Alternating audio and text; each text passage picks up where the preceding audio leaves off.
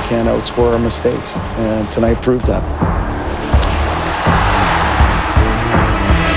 There's always celebrities, other pro athletes, and they're interested in meeting our guys.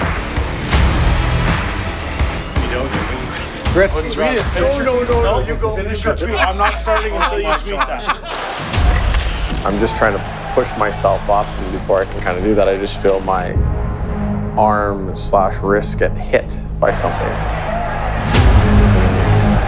I'd be watching the game in the dressing room with the doc, and uh, I saw him grab his hand. He went down awkwardly on that left elbow.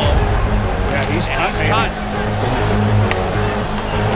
It looked horrific. Probably the most painful 20 minutes of my life, physically. Next man up.